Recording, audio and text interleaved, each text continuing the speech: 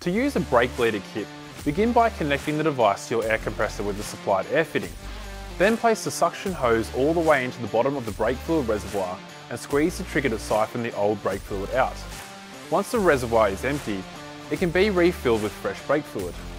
Bendix offers both high-performance polyglycol DOT3 and DOT4 fluids that provide optimum performance while meeting stringent Australian and US specifications. Next, attach the adapter from the kit to the bleeder nipple on the caliper that's furthest away from the brake master cylinder. Loosen the nut on the bleeder nipple and squeeze the trigger on the device until the air bubbles dissipate and a solid line of new fluid forms within the tubing.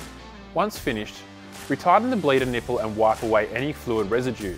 Repeat the process at each corner of the vehicle from the furthest to the closest to the brake master cylinder. Be sure to regularly inspect the brake fluid level in the reservoir and top up as required. As always, we recommend this to only be completed by a qualified professional. So for more information on Bendix products, visit www.bendix.com.au. Bendix.